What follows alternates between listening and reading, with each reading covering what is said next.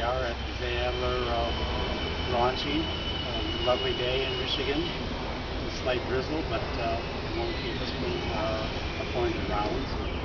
After 13 years, uh, we were